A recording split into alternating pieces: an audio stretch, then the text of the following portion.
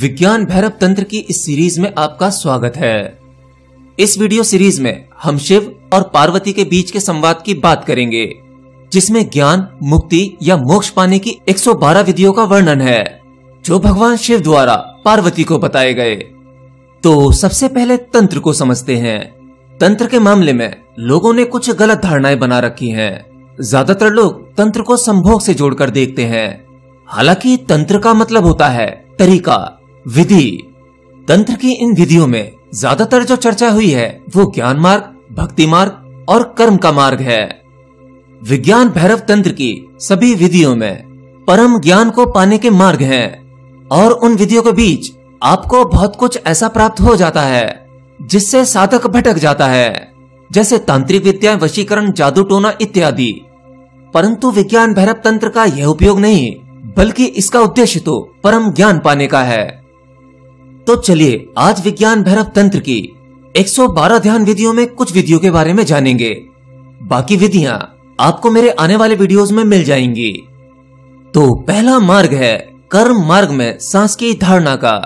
जैसे सांस बाहर आती है तो हम उसे सांस को छोड़ना कहते हैं, जिसे रेचक भी कहा जाता है, और विज्ञान भैरव तंत्र में उसे प्राण श्वास कहा गया है। मतलब जब प्राण या रेचक शब्द आए तो उसका मतलब होता है सांस को छोड़ना।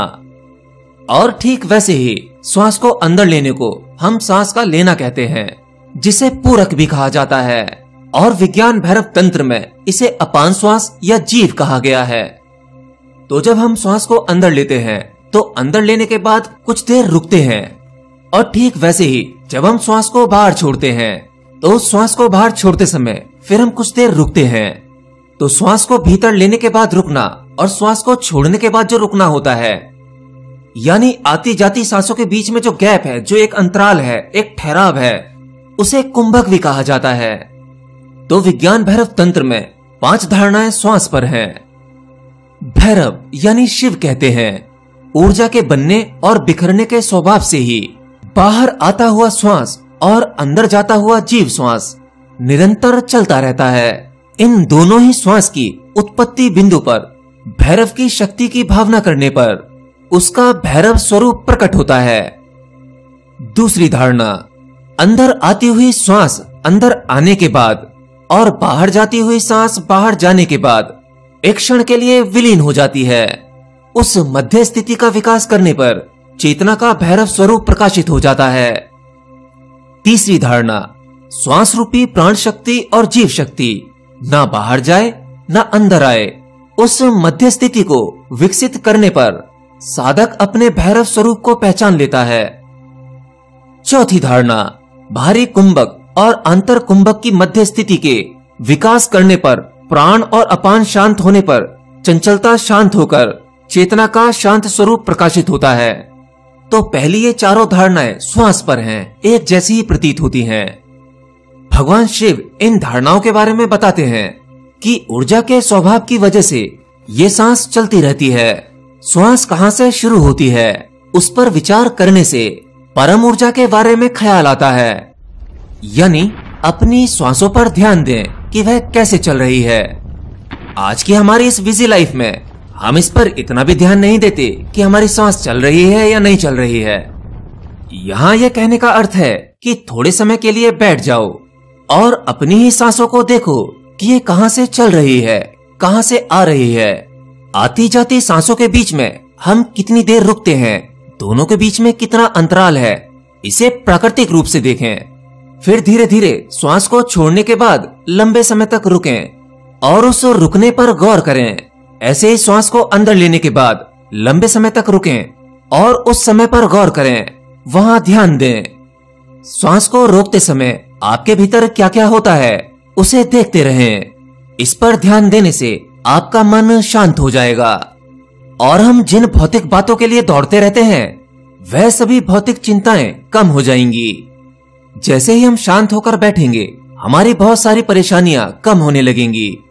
और धीरे धीरे परम ऊर्जा या भैरव स्वरूप क्या है, उस बारे में हम जानने लगेंगे। देखिए, श्वास की इस प्रक्रिया से आपके अंदर जो घटना घटने वाली है वह कोई एक दिन में नहीं घटेगी। आपको ये वीडियो देखकर लग सकता है कि आप दो चार दिन बैठेंगे और सांस का ये प्रयोग करेंगे तो शायद कुछ हो जाएगा। पर ये इतना आसान नहीं है। श्वास के बीच की स्थिति को पकड़ने में देर लगती है। और जब आपका मन और आपके विचार शांत हो जाएँ, तभी समझना कि आपने बीच की स्थिति पकड़ ली है। आपके मन में विचार चल रहे हैं या आपके मन में ऐसा भी विचार आता है कि हाँ अब मैंने बीच की स्थिति पकड़ ली है और मैं निर्विचार या शून्य की अवस्था में हूँ। तो इसका सही अर्थ यह है कि आप अभी बीच की स्थिति में नहीं है। ये मन के ही द्वारा दिया जाने वाला एक धोखा है। अब श्वास की पांचवी धारणा। प्राण और अपान वायु के आने जाने के सभी द्वार बंद करके उसकी गति रोकने पर शरीर में चीटी चलने जैसा प्राण के ऊपर उठने का अनुभव होता है। उससे चित्त परम आनंद से भर जाता है।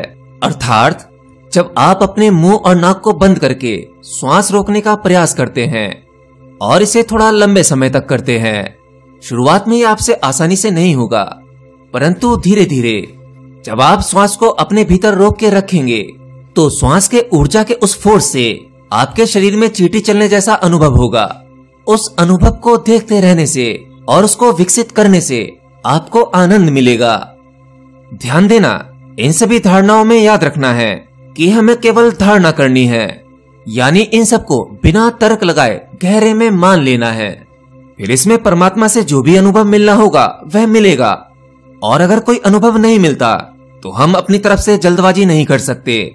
परमात्म रूपी अनुभव ये हमारे हाथ में नहीं होता। जब उसकी कृपा होगी, तब ये हो जाएगा।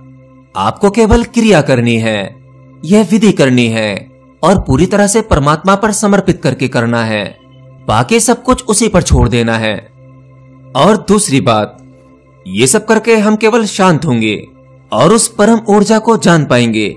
इससे कोई भौतिक लाभ या सिद्धियों की आशा मत करना और इन विधियों को आप दिन में कभी भी कर सकते हैं। आपको जब भी समय मिले, इसका प्रयास करते रहें।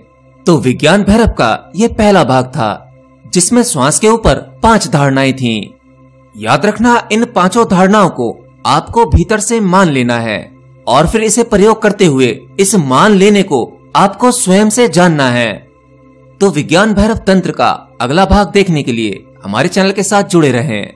और अगर चैनल पर पहली बार हैं तो चैनल को सब्सक्राइब भी कर सकते हैं, जिससे आप अध्यात्म से और गहरा जुड़ सकें, तथा इसमें गहरा उतर सकें। नमस्कार, मैं संतोष शर्मा आपका मित्र। आज हम चर्चा करेंगे और एक सूत्र के बारे में विज्ञान भैरव तंत्र शास्त्र से। इस सूत्र में सिर्फ़ कहते हैं कि प्रिय देवी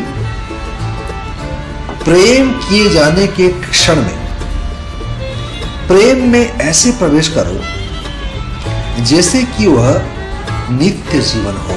नित्य जीवन क्या है? और क्यों कहते हैं शिव कि प्रेम किए जाने के क्षण में? ध्यान किए जाने के क्षण में नहीं कह रहे हैं शिव। प्रेम किए जाने के क्षण में कह रहे हैं। प्रेम के बारे में क्यों बात कर रहे हैं? शिव को तो हम महायोगी आदि योगी परम योगी स्मशानवासी इस प्रकार के संज्ञा उपाधियों से विभूषित करते हैं। तो शिव प्रेम के बारे में क्यों बात कर रहे हैं? लेकिन आप देखे होंगे कि शिव हरदम पार्वती के साथ रहते हैं। शिव पार्वती विराजमान जब होते हैं, उनका जो प्रेम है, वो छलकता है। अर्धनारीश्वर जो फ़ोटो है शिव पार्वती का, और किसी देवता का, किसी भगवान का नहीं है। खाली शिव का है, अर्धनारीश्वर। शिव कह रहे हैं, प्रेम के बारे में कहते हैं कि प्रेम किए जाने के क्षण में वे आर मेकिंग लव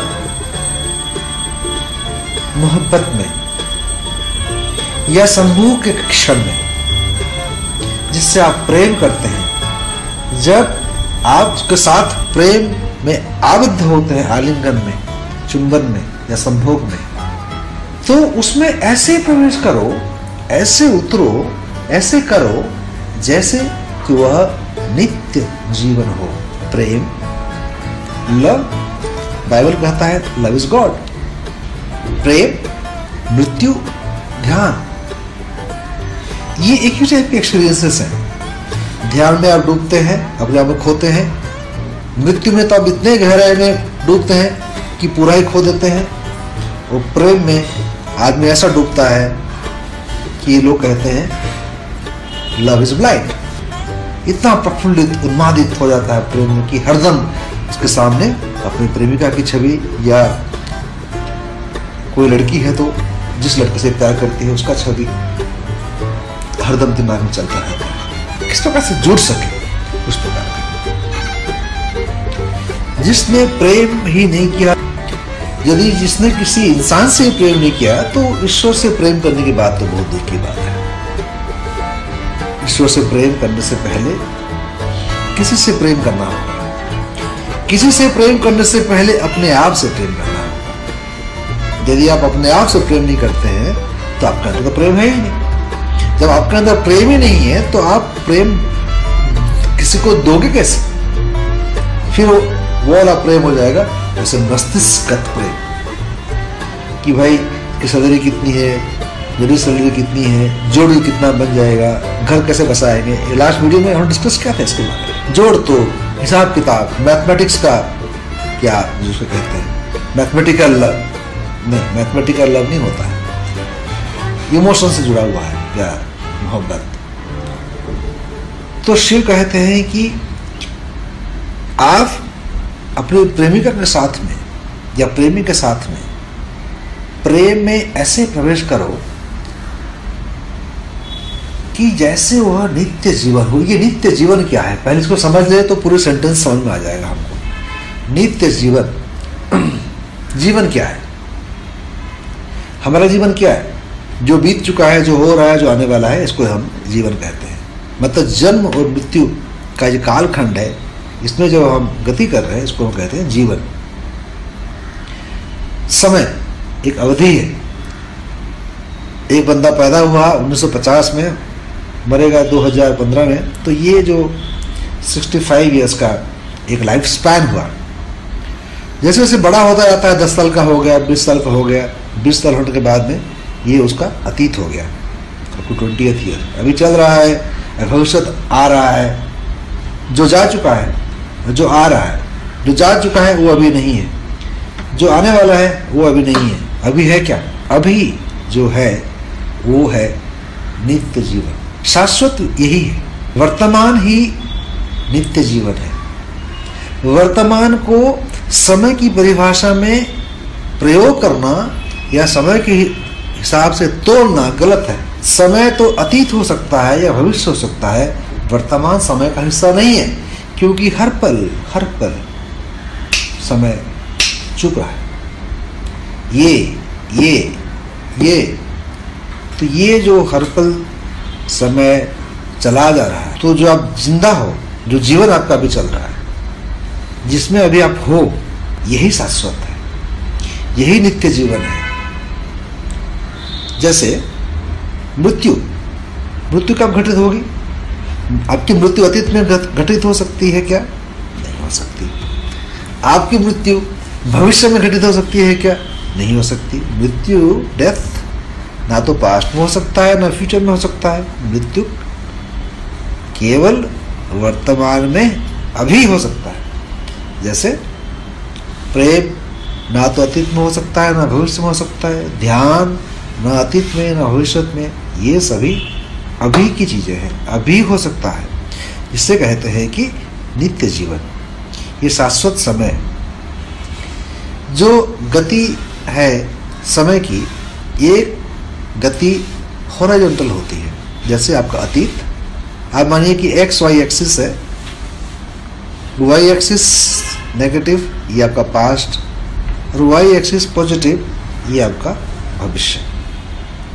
ये सेंटर बीच का जो है एक्स और वाई एक्सिस का जो पॉइंट है, जहाँ जुड़ता है, ये खिसकता जा रहा है, ये आपका वर्तमान है। और ये वर्तमान नित्य जीवन है। जो रीत तो रहा है, लेकिन रीत नहीं भी रहा है।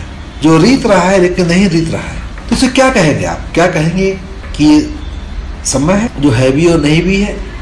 बाइबल में जब जिसस से कहा गया, किसने पूछा कि स्वर्ग में क्या होगा वो कहते हैं कि स्वर्ग में समय नहीं होगा।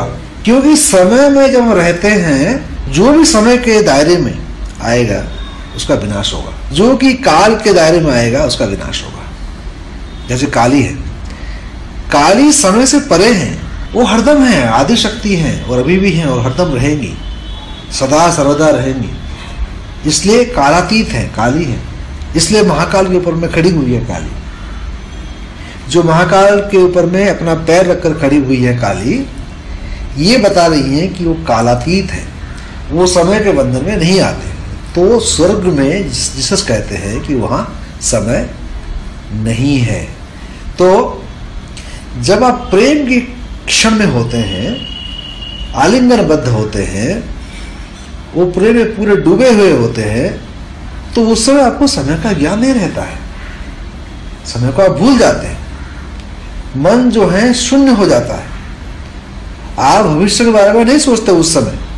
ना ही अतीत के बारे में सोचते हैं। तो आप कहाँ रहते हैं? अभी। और अभी शाश्वत है। हरदम है। क्योंकि अभी, फिर अभी फिर अभी। इसको कहते हैं नित्य जीवन। शिव कहते हैं नित्य जीवन। तो प्रेम में ऐसे उतरो कि जैसे आप इस नित्य जीवन में हैं, शिव ये कह रहे हैं, जैसे कि शरीर की जो बोध है, वो खत्म हो जाए, आपकी जो दृष्टि है, उस दृष्टि में केवल प्रेम ही प्रेम हो। इतने गहरे उतर जाओ, इतने गहरे उतर जाओ कि तुम ही प्रेम बन जाओ। जैसे गोपियाँ कृष्ण ही बन जाते थे, कृष्ण गोपी बन जाते थे, उस प्रकार से जब आप अपने प्रेमी के साथ हो तो उसमें प्रेम में इतना डुबा दो कि वर्तमान में ही जियो। और ये सत्य है। आप जो गहरे प्रेम के क्षण में आप अतीत के बारे में नहीं सोचते रहते हैं, ना ही भविष्य के बारे में सोचते रहते हैं, आप उस समय उसी वर्तमान में होते हैं। वर्तमान जैसे बताया कि समय का खंड नहीं है। समय के डेफिनेशन में वर्तमान नहीं आता है, केवल अतीत और भविष्य आता है। तो वर्तमान में रहने की कला जो है to stay in the present आप मेरी किताब देखेंगे द गेट ऑफ़ स्पिरिचुअलिटी जो कि आपके अमेजोन में कोबो में फ्लिपकार्ट में अलग अलग जगहों में फ़िज़िकल बुक के हिसाब से ई बुक के हिसाब से अवेलेबल है। उसको आप खरीद सकते हैं और पढ़ सकते हैं। इसके बारे में उसमें काफ़ी चर्चा की गई है। मन की गति के बारे में, समय के बारे में, उसको देखें, जाने और ये सीखें कला कि वर्तमान में कैसे जिया जाए। जो लोग अतीत में जीते हैं या भविष्य में जीते हैं, उनका मन हरदम उलझन से भरा हुआ होता है स्ट्रेसफुल होता है, या गिल्ट से भरा होता है। गलत कुछ काम किए थे अतीत में, उसका पश्चाताप। भविष्य में क्या होने वाला है, उसका भय।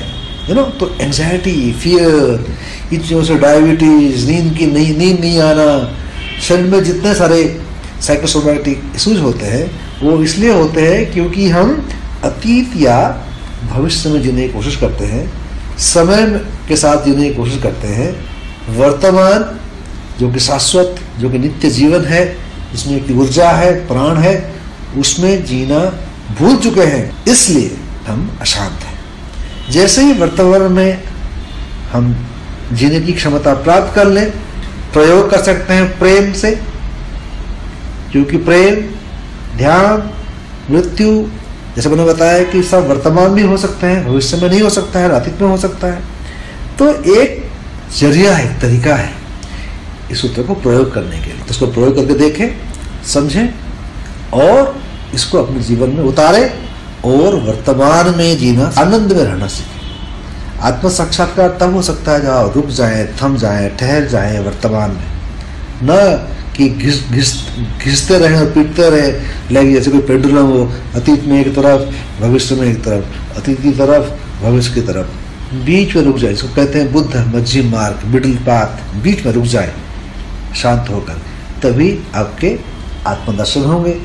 और जब आत्मदर्शन आपका होगा, अपने से आप मिलेंगे, तब आप आनंद के सरोवर में स्थित होंगे आनंदित एक सौ नौ चक्र है हमारे शरीर में। उनमें से मुख्य है बारह, और उनमें से भी मुख्य है नौ, और उनमें से भी मुख्य सात चक्र है। चक्र माने जहाँ नस नाड़ियाँ सब एक होती हैं वहाँ बीच में। तो हमारे शरीर में कई चक्र है, एक मूलाधार चक्र जहाँ रीढ़ की हड्डी शुरू होती, गुद प्रदेश है, गुद प्रदेश के पास है, वो मूलाधार, उससे ऊपर है, जननेन्द्रिय के पीछे, वो स्वादिष्टान चक्र, और तीसरा है नाभि पे है, नाभि में जो है वो मणिपुर चक्र कहते हैं, फिर हृदय में है एक चक्र, अनाहत चक्र, फिर गले में है, इस चक्र को कहते हैं विशुद्धि चक्र और दोनों भुवों के बीच में आज्ञा चक्र, ये सब डक्टलस ग्लैंड्स कहते हैं। एंडोक्राइन सिस्टम में इन सब का वर्णन है। अंग्रेज़ी जो सिस्टम है मेडिसिन का, उसमें उन्होंने भी इन चीज़ों को माना। एंडोक्राइन सिस्टम हमारे पूर्वज इतने हज़ारों साल पहले इस बात को जानते थे। अच्छा फिर जो पिचुटरी ग्लैंड स्पीनियल ग्लैंड कहते हैं, आज्ञा चक्र, फिर सहस्रार हाइपोथालमस कहते हैं। जब चक्र पर ध्यान देते हो, पहले तो कुछ नहीं अनुभव होता, सिर्फ़ ब्लैंकनेस आते खालीपन। फिर थोड़ा समय के बाद वहाँ स्पंदन होने लगता है, तरंग का अनुभव होता है। फिर तरंगों के अनुभव के पश्चात प्रकाश अनुभव में आता है। तो तीन स्टेजेस हैं। एक ही साथ नहीं होगा। पहले तो कुछ नहीं, खालीपन होता। हाँ? फिर यदि आप लोग ध्यान कर रहे हो सहज समाधि कर रहे हो, बहुत दिन से ध्यान कर रहे हो, आपको महसूस होता होगा जब ध्यान में बैठते कुछ वाइब्रेशन तरंगों का अनुभव आता। कितने लोगों, तरंगों का अनुभव होता है? हाथ उठाइए। फिर तरंग बदल करके फिर ज्योति रूप होता है। घर में कोई सो रहे हो तो उनके सिर के ऊपर बारह अंगुल के बीच में ऐसे हाथ करो, उनका नाम लो या सिर्फ़ हाथ करो तो वो जग जाएँगे। उनको छूने की ज़रूरत नहीं। हमारा सूक्ष्म शरीर बारह अंगुल पर खत्म होता है। मन इतना बड़ा है। इसको वैज्ञानिकों ने केरलियन फोटोग्राफी वगैरह लेके तुम्हारे आभा मंडल का चित्र भी निकालते हैं अभी। और तुम ध्यान करते हो, सुदर्शन क्रिया करने के बाद आभा मंडल का चित्र लो और पहले लो, बहुत बड़ा फ़र्क होता है हमारा सूक्ष्म शरीर स्थूल शरीर से बड़ा है। जब सूक्ष्म शरीर सिकुड़ता है, तब हमको अच्छा नहीं लगता। भाई, जब भी आपको अच्छा लगा खुशी महसूस हुई।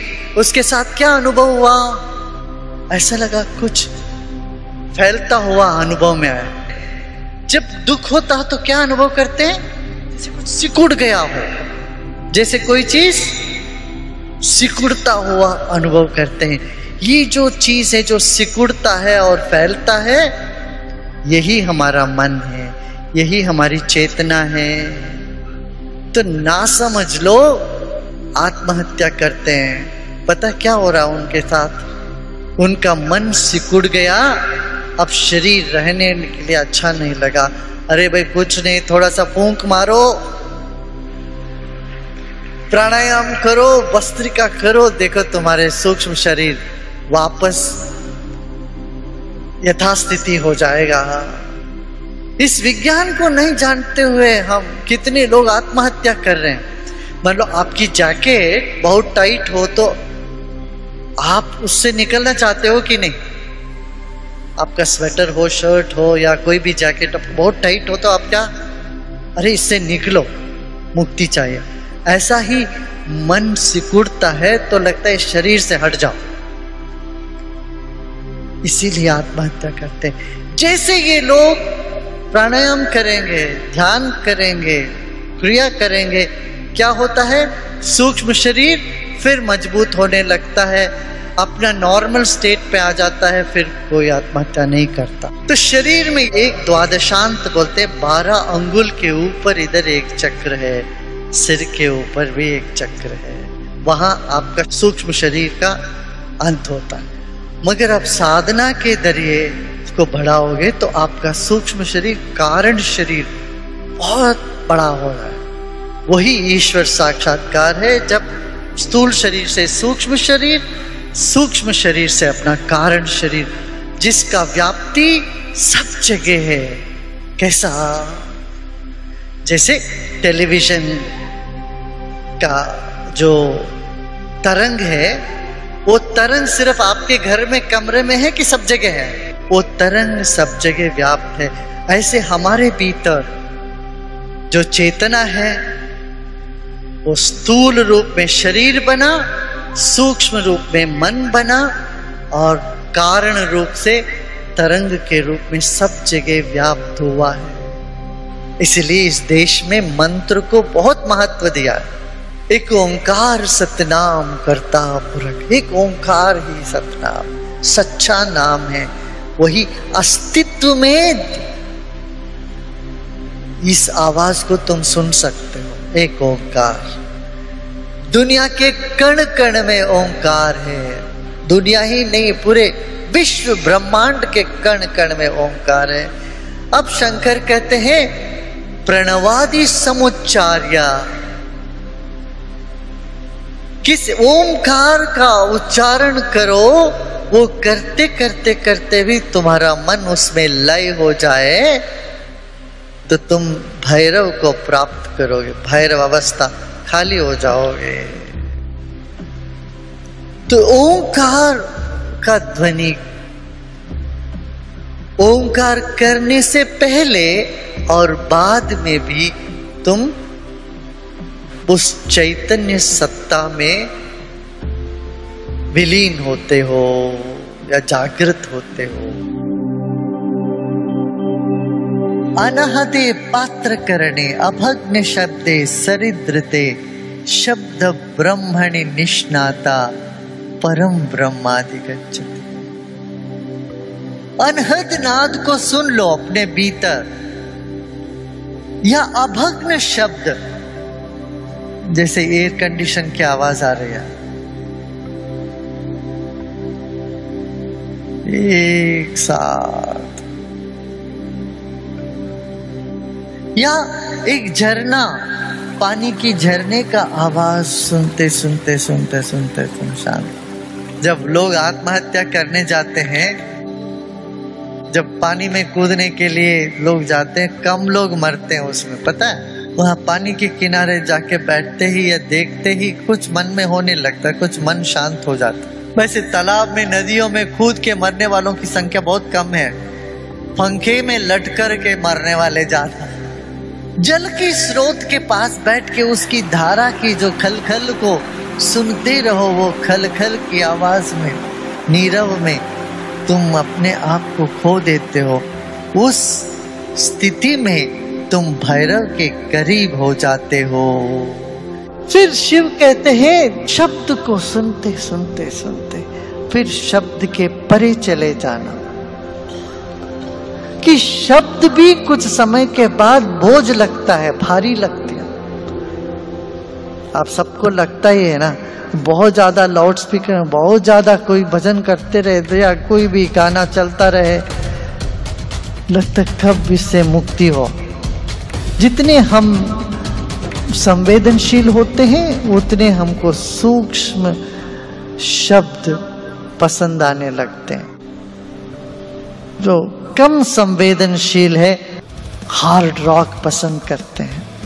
एकदम मोटा और रॉक बैंड उससे क्या होता, हमारे शरीर के अलग अलग चक्रों पर भी इन नाद का असर होता है। बेस ऑफ़ द स्पाइन पहला चक्र पर रॉक बैंड का असर होता है। इसलिए उनको अच्छा लगता है। फिर वहाँ से ऊपर जाएँगे नाभि नाभि में तंतुवाद्य का असर करता आप सितार बजाइए, वीणा बजाइए, या कोई मेटालिक स्क्रैच होता है ना, कहाँ आपको अनुभव होता है? कोई लोहे का कुर्सी या कुछ खींचे तो आपको उसका असर कहाँ पड़ता बताओ? पेट में पड़ता है? नाभि से हृदय तक तंतुवाद्य का है। तंतुवाद्य मैंने तार से। बनी हुई होती है, सितार हो ये सब। गिटार, सितार सब इधर।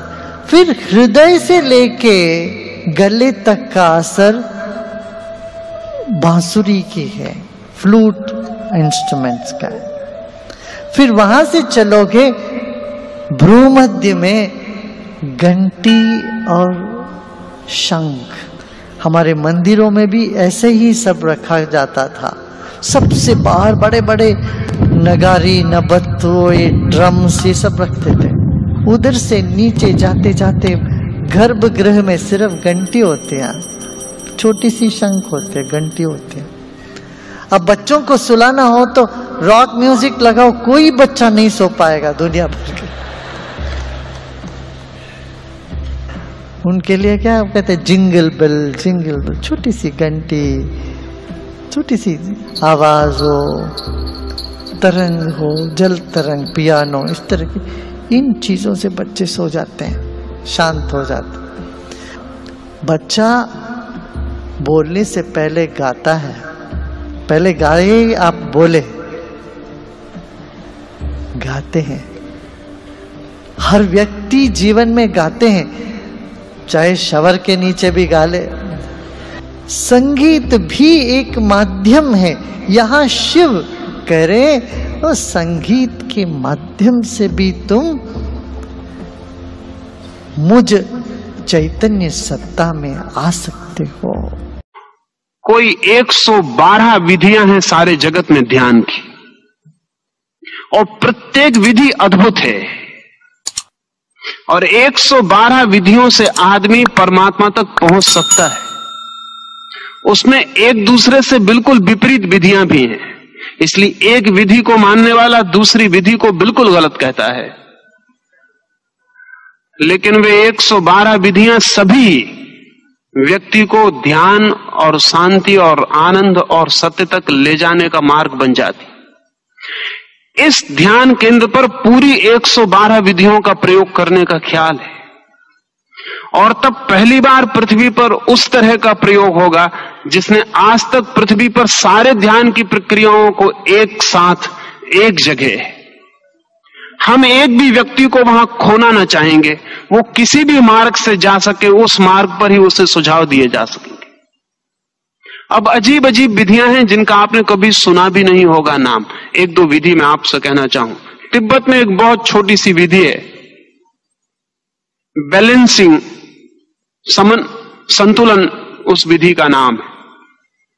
कभी घर में खड़े हो जाएँ सुबह स्नान करके, दोनों पैर फैला लें और ख्याल करें कि आपके बाएँ पैर पर ज़्यादा ज़ोर पड़ रहा है कि दाएँ पैर पर ज़्यादा ज़ोर पड़ रहा है। अगर बाएँ पर पड़ रहा है तो फिर आहिस्ते से ज़ोर को दाएँ पर ले जाएँ। दो क्षण दाएँ पर ज़ोर को रखें, फिर बाएँ पर ले जाएँ। एक पंद्रह दिन सिर्फ़ शरीर का भार बाएँ पर है कि दाएँ पर इसको बदलते रहें। और फिर ये तिब्बती प्रयोग कहता है कि फिर इस बात का प्रयोग करें कि दोनों पर भार न रह जाए, आप दोनों पैर के बीच में रह जाए। और एक तीन सप्ताह का प्रयोग, और जब आप बिल्कुल बीच में होंगे, भार ना बाएँ पर होगा ना दाएँ पर, जब आप बिल्कुल बीच में होंगे, तब आप ध्यान में प्रवेश कर जाएँगे। ठीक उसी क्षण में आप ध्यान में चले जाएँगे। ऊपर से देखने पर लगेगा कि इतनी सी आसान बात करेंगे तो आसान भी मालूम पड़ेगी और कठिन भी मालूम पड़ेगी। बहुत सरल मालूम पड़ती है, दो पंक्तियों में कही जा सकती है। लेकिन लाखों लोगों ने इस छोटे से प्रयोग के द्वारा परम आनंद को उपलब्ध किया है। जैसे ही आप बैलेंस होते हैं, न बाएँ पर रह जाते, ना दाएँ पर रह जाते, जैसे ही दोनों के बीच में रह जाते वैसे ही आप पाते हैं कि वो बैलेंसिंग वो संतुलन, आपकी कॉन्सियसनेस का चेतना का भी बैलेंसिंग हो गया। चेतना भी बैलेंस्ड हो गई। चेतना भी संतुलित हो गई। तत्काल तीर की तरह भीतर गति हो जाती। ऐसे 112 विधियाँ हैं सारे जगत में। इन सारी 112 विधियों पर विस्तृत वैज्ञानिक व्यवस्था इस ध्यान केंद्र में देना चाहता हूँ। और न केवल आपको समझाया जा सके, बल्कि आपको करवाया जा सके।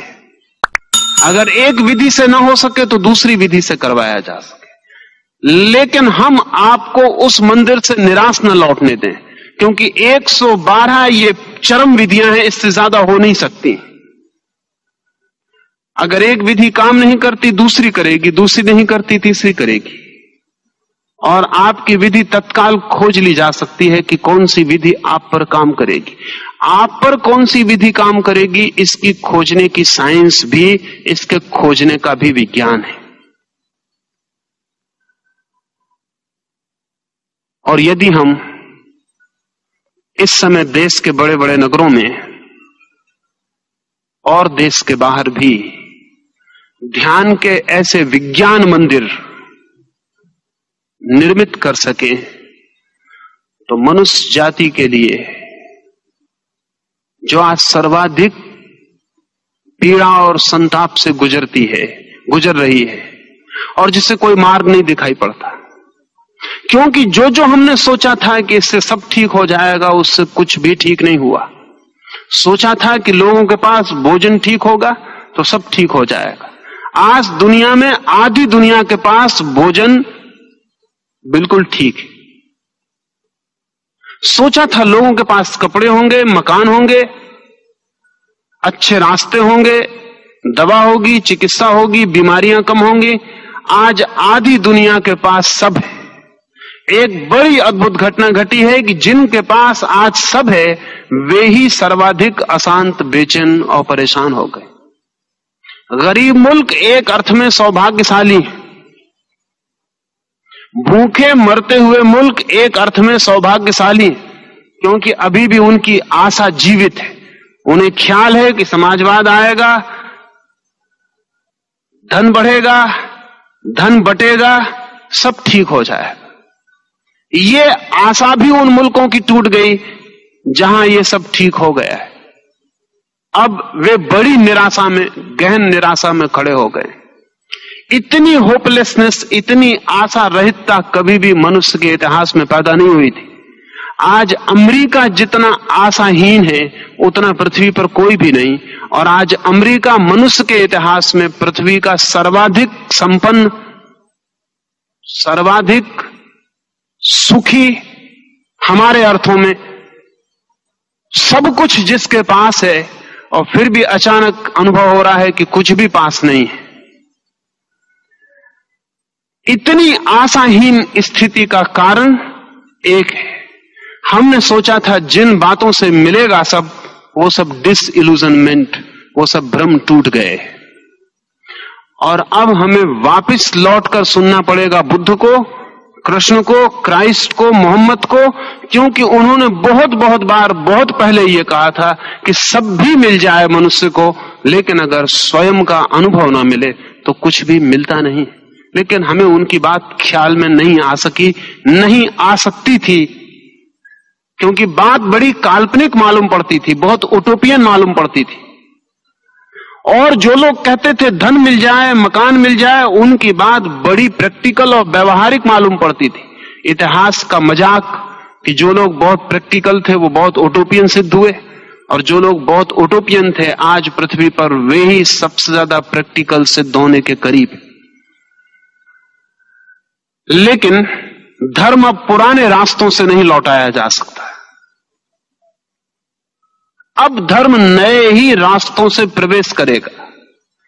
उसके नए रास्ते वैज्ञानिक और तकनीकी होंगे। अब जैसे एक आदमी हिमालय जाता था, आज भी हम सोचते हैं एक आदमी हिमालय जाए तो ध्यान में जा सकता है। लेकिन कभी हमने सोचा नहीं कि हिमालय किस लिए जाता था। जितना ताप कम हो जाए वातावरण में, उतना भीतर प्रवेश आसान हो जाता है। लेकिन कितने लोग हिमालय जा सकते हैं? लेकिन बंबई में एक एयर कंडीशन मेडिटेशन हॉल हो सकता है। कोई हिमालय जाने की ज़रूरत नहीं। क्योंकि हिमालय पर जो ठंडक मिल सकती है, वो बंबई में भी उपलब्ध हो सकती है। अब अब हिमालय पर जाने की व्यर्थ की दौड़ धूप है। अब तो ठीक बंबई के बीच बाज़ार में भी उतनी ही शीतलता उपलब्ध हो सकती जितने एक योगी को हिमालय की चोटी पर उपलब्ध होती थी। उसके आसपास भी बर्फ़ फैलाया जा सकता है। अगर बर्फ़ से ही कुछ लाभ होना है तो बर्फ़ फैलाया जा सकता है। अगर ऊंचाई से कुछ लाभ होता है, ज़मीन के ग्रेविटेशन के कम होने से कुछ लाभ होता है तो बंबई में भी ग्रेविटेशन कम किया जा सकता है। तो वहाँ भी इतना ही उत्ताप पहुँच जाएगा। इतनी ही गर्मी पहुँच जाएगी। एवरेस्ट पर जिस दिन जाने का रास्ता सीधा होगा, उस दिन हम बस्तियाँ वहाँ भी बसा लेंगे। आने वाले भविष्य में मनुष्य जहाँ है, वहीं सारी टेक्नोलॉजी और साइंस का उपयोग किया जा सकता है। और वही सारी व्यवस्था की जा सकती है, जो कि एक योगी को बड़ी तकलीफें उठा के व्यवस्था करनी पड़ती थी, वो विज्ञान के द्वारा संभव हो गई, एक सामान्य आदमी के लिए भी सुलभ हो सकती है। विज्ञान और टेक्नोलॉजी का पूरा प्रयोग करके ही इस मंदिर को, ध्यान के मंदिर को निर्मित करना है। ये ध्यान का मंदिर मंदिर सिर्फ़ इसी अर्थों में होगा कि वो ध्यान का है, अन्यथा वो एक वैज्ञानिक प्रयोगशाला होगी। इस वैज्ञानिक प्रयोगशाला में मनुष्य ने जो जो खोज की है आदमी के संबंध में, उसका पूरा उपयोग किया जाना चाहिए। एक आदमी ध्यान करने आता है, लेकिन उसका ब्लड प्रेशर बढ़ा हुआ है। इस आदमी को ध्यान में ले जाना आसान नहीं है। इस आदमी को ध्यान में ले जाना कठिन है। इसके रक्तचाप की की जो अधिकता है, वो इसके ध्यान में बाधा बनेगी। पुराने आदमी के पास रक्तचाप को नापने का कोई माध्यम नहीं था। लेकिन आज के ध्यान मंदिर में रक्तचाप नापने का माध्यम हो सकता है। रक्तचाप को कम करने की व्यवस्था हो सकती है और फिर ध्यान में ले जाने की सुविधा बनाई जा सकती हाँ। एक बार आदमी ध्यान में चला जाए तो रक्तचाप में जाना मुश्किल हो जाएगा। लेकिन रक्तचाप में डूबे हुए आदमी को ध्यान में जाना मुश्किल हो जाता है। सारी दुनिया के योगियों ने अल्प आहार पर ज़ोर दिया है, कम खाने पर ज़ोर दिया है, उपवास पर, अल्प आहार पर, कम भोजन पर, सम्यक आहार पर सारी दुनिया के योगियों ने ज़ोर दिया है। फिर भी उनके पास अल्प आहार क्या है, इसकी ठीक ठीक जाँच की कोई व्यवस्था नहीं थी सिवाय अनुमान के। न उन्हें कैलोरीज का कुछ पता था। न उन्हें भोजन के तत्वों का कुछ पता था। इसलिए कई बार ऐसा हुआ कि अल्प आहार के नाम पर जो चला उससे नुकसान ही पहुँचा। आज हमारे पास बहुत वैज्ञानिक व्यवस्था है कि एक आदमी को कितनी कैलोरी भोजन की ज़रूरत है। और हम ये तय कर सकते हैं कि उसकी कितनी कैलोरी कम हो जाए तो उसे ध्यान में आसानी हो जाएगी। कितनी कैलोरी ज़्यादा हो जाए तो कठिनाई हो जाएगी। अगर ज़्यादा भोजन है तो ध्यान में कठिनाई हो जाएगी, क्योंकि ज़्यादा भोजन ज़्यादा नींद माँगता है। उसे पचाने के लिए उतनी ज़्यादा नींद चाहिए। कम भोजन कम नींद माँगता है। और जितनी भीतर निद्रा कम पैदा होती हो, उतना ध्यान का जागरण पैदा हो सकता है। ध्यान तो जागरण है। एक आदमी ध्यान करने बैठता है और ज़्यादा भोजन करके बैठ जाता है तो फिर कठिनाई होगी। लेकिन ज़्यादा भोजन से मतलब सिर्फ़ पेट में ज़्यादा चीज़ें चली जाएँ, इससे नहीं है। क्योंकि हो सकता है एक आदमी ने बहुत साग सब्ज़ी खा लिया हो। पेट पर तो वज़न ज़्यादा हो, लेकिन भोजन ज़्यादा ना हुआ और एक आदमी ने थोड़ी सी मिठाई खाई हो। पेट पर तो वज़न कम हो, लेकिन भोजन ज़्यादा हो गया हो। और आमतौर से साधु सन्यासी मिठाई खाते रहे, दूध पीते रहे रबड़ी लेते रहे, इस बात के बिना ख्याल किए, लेकिन उसका कोई उपाय नहीं था, उसका कोई साफ़ ख्याल नहीं था। आज हमारे पास उपाय है। एक आदमी कितना सोए, इस पर निर्भर करेगा कि उसकी ध्यान की गति कैसी हो सकेगी। दोनों बातें संबंधित हैं। अगर ध्यान ठीक हो जाए तो नींद ठीक हो जाएगी। लेकिन ध्यान को ठीक करना उतना आसान नहीं, जितना नींद को ठीक कर लेना आसान है। पहले नींद ठीक कर ली जाए तो ध्यान में गति बहुत आसान हो जाए। अब लोगों के पास नींद ही नहीं है, वो रात भर सोए नहीं, सुबह ध्यान करने बैठ गए। जो आदमी रात भर सोया नहीं, वो ध्यान में सिर्फ़ सोएगा। इसलिए मंदिरों में पूजा करते हुए, साधु को सुनते हुए लोग अगर सो जाते हैं तो बहुत हैरानी नहीं? मैंने तो सुना है कुछ डॉक्टर सलाह देते हैं कि धर्म सभा में चले जाना चाहिए अगर नींद ना आती हो। मैंने सुना है एक बहुत बड़ा पादरी अपने एक मित्र को बार बार कहता था कि तुम कभी मेरा व्याख्यान सुनने आओ। नहीं माना तो एक दिन वो मित्र सुनने गया। पादरी अच्छे से अच्छा जो बोल सकता था, बोला। बाहर जब दोनों निकलने लगे तो उसने अपने मित्र से पूछा कि कैसा लगा? तो उसने कहा,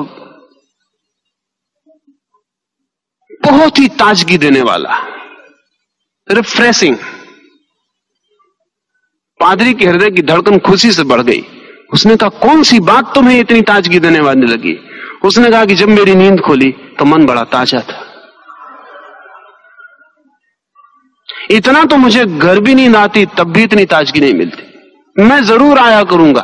तुम्हारा भाषण बहुत रिफ्रेशिंग था।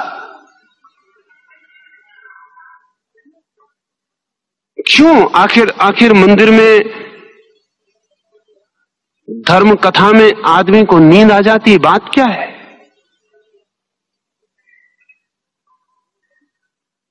बोर्डम ऊप पैदा हो जाए, नींद आ जाती।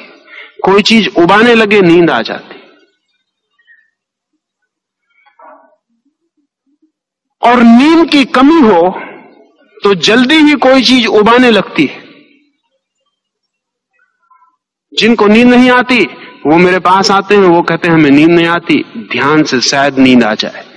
उन्हें पता नहीं, ध्यान से नींद ज़रूर ठीक हो जाएगी, लेकिन नींद का ठीक होना ध्यान में जाने के पहले बहुत ज़रूरी है। अन्यथा ध्यान में जाना मुश्किल हो जाएगा, कठिन हो जाएगा। कठिन इसलिए हो जाएगा कि चित्त को पहली ज़रूरत नींद की है, और जैसे ही विश्राम मिला, चित्त सो जाएगा। और ध्यान में ज़रूरत है विश्राम में भी जागे हुए होने की। Relaxed and aware. एक तरफ़ सब विश्राम हो और एक तरफ़ सब जागा हुआ, तभी कोई ध्यान में प्रवेश कर सकता है। और नींद का नियम यह है कि यहाँ हम विश्राम हुए बाहर, कि भीतर नींद आ गई। रिलैक्स हुए कि नींद आ गई। तो ध्यान में अक्सर लोग सो जाएँगे। अब ये सारी व्यवस्था आज की जा सकती है, नींद नापी जा सकती है, उनके सपने नापे जा सकते हैं कि कितने सपने आपको आ रहे हैं। आपको भी पता नहीं होता कितने सपने आ रहे हैं। कैसे सपने आ रहे हैं? कल ही एक साधिका मेरे पास थी। ध्यान करना है उसे। मैंने उसके सपनों के बाबत पूछा, उसने कहा कि सपनों से क्या मतलब आपको? मुझे ध्यान करना है। मैंने उससे कहा कि मुझे पूछना बहुत ज़रूरी है, क्योंकि सपने ही मुझे बताएँगे कि तुम्हें सच में ध्यान करना है या कुछ और करना है। उसने कहा, सपने में तो मुझे सिवाय काम वासना के और हिंसा के, हत्या के, आग लगा देने के इस तरह के सपने आते हैं। तो मैंने कहा कि वही तुम्हारा चित्त करना चाहता है। अभी ध्यान मुश्किल पड़ेगा। पहले तो तुम्हारे सपनों को शुद्ध करना पड़ेगा। जिस व्यक्ति को स्वयं को शुद्ध करना है, वो अगर अपने सपनों को भी शुद्ध न कर पाए तो स्वयं को शुद्ध नहीं कर पाएगा। सपने जैसी साधारण चीज़ भी अशुद्ध हो तो स्वयं का शुद्ध होना बहुत मुश्किल है। जिसके सपने भी अभी सात्विक ना हो पाए हो, उसका सत्व सात्विक हो जाए, ये बहुत मुश्किल है। जिसके सपने अभी शांत ना हो पाए हो, उसकी सत्ता शांत हो जाए यह भी बहुत मुश्किल है। लेकिन आज से पहले सपने की जांचने की कोई सुविधा न थी। इस ध्यान केंद्र में सपने के जांचने की पूरी व्यवस्था करना चाहता हूँ। अब तो इंजाम है, जैसे आपका कार्डियोग्राम लिया जाता है, वैसे ही आपके रात नींद के सपने का ग्राफ बन जाता है। कि आपने कितनी देर सपने देखे? किस तरह के सपने देखे? वायलेंट थे नॉन वायलेंट थे सेक्सुअल थे, नहीं थे सेक्सुअल क्या था? सपने किस तरह के थे? इसकी काफ़ी जानकारी ग्राफ दे देता है। और कितना सपना देखा रात पर? क्योंकि ये जान के आप हैरान होंगे कि सपनों के संबंध में जितनी जानकारी बढ़ी है, उतना ये प्रतीत हुआ है कि चित्त के भीतर भी वेब्स हैं, तरंगे जब सपना चलता है तो तरंगे और तरह की होती जब सपना बंद होता है तो और तरह की होती और बड़े आश्चर्य की बात है कि गहरी नींद में जो तरंगों की स्थिति होती है, वही स्थिति ध्यान की तरंगों में भी होती ध्यान में जब कोई व्यक्ति होता है तो उसके मस्तिष्क की तरंगें वैसी ही होती हैं, जैसी तरंगें गहरी निद्रा में होती और जब कोई व्यक्ति सपने में होता है तो तरंगें वैसी ही होती हैं, जैसे जब कोई व्यक्ति चिंता में होता है।